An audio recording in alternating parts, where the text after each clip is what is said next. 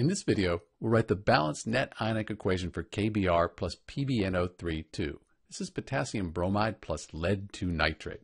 First thing we need to do is balance the molecular equation. I can see I have a nitrate here, but here I have two nitrates. So I'm going to put a 2 in front of the KNO3.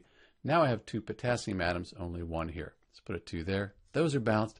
Two bromine atoms, two bromine atoms. I have a lead and then a lead. Molecular equation is balanced. Now we can write the state for each substance.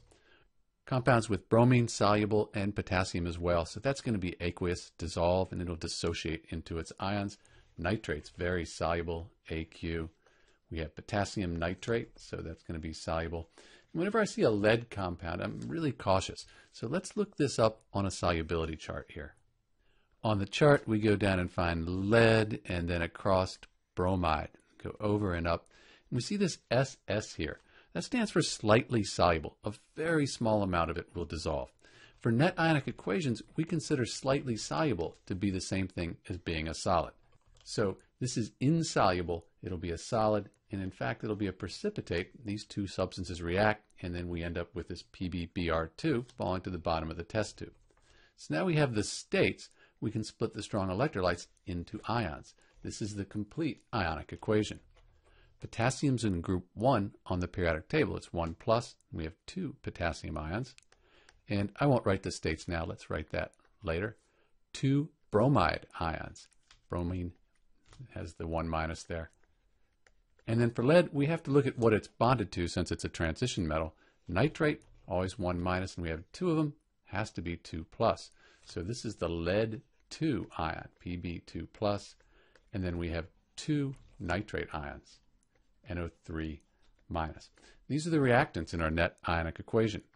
For the products, we have two potassium ions again, plus two nitrate ions. And for the solid, with net ionic equations, we don't split solids apart, so this lead 2 bromide just stays as PbBr2. This is the complete ionic equation. Now we can cross out these spectator ions that are on both sides of the complete ionic equation.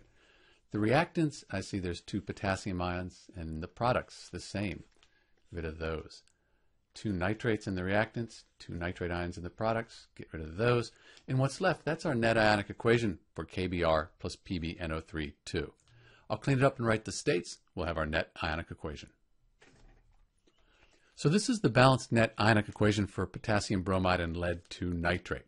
You'll note that charge is conserved. We have two negative charges then we have this 2 positive, cancel out, give us a neutral compound here in the product, and we have the same number of each type of atom on both sides, so mass is conserved too. Often you'll see the positive ion written first in net ionic equations. It doesn't really matter. Still the same net ionic equation. Maybe it looks a little nicer.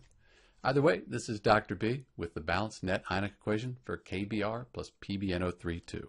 Thanks for watching.